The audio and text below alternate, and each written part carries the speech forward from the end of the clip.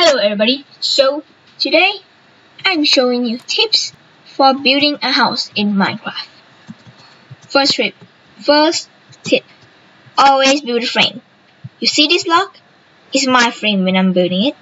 So I usually do frames because if you don't do frames, then first, first bad thing that will happen to you if you don't do frame, you already finished building a house.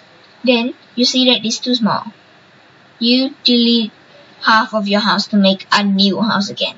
To make to fix the house. Because it's not big enough. Second reason frame is easier to build. It uses less block and make you to be sure that it's big enough wide enough and perfect enough for your build. Third reason is the last one the third reason is everything that I finished saying.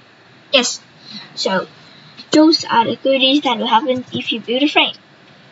Next, light. Oh. If you don't have enough light for your house, your house will be completely dark.